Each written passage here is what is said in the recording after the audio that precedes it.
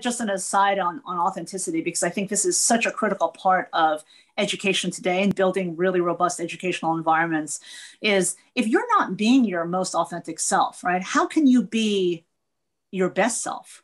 Right? How can you realize your potential at an individual level, at a team level, at an organizational level, at a company level, if you're not enabling every single member of that team or that organization to be their true self? Right? And this is, you know, it sounds easy, but it's not, it's not, right? It's not, it's not easy. So how have I, how have I done it over the years? It really gets back to where we started this conversation, which is being very conscious of the power of human connection.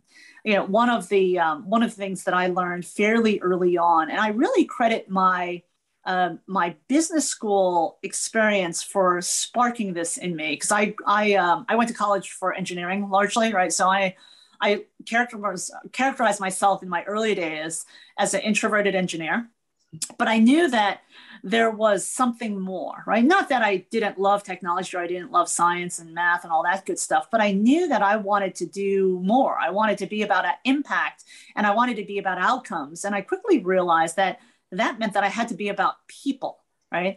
And if you're going to be about people and if you're going to be a leader of the people, then you must understand the art and the science of building relationships, right? Which means that you've got to figure out how to do that, even if you have tens of thousands of employees, even if you have one employee, you know, or three members of your team, whatever the number is.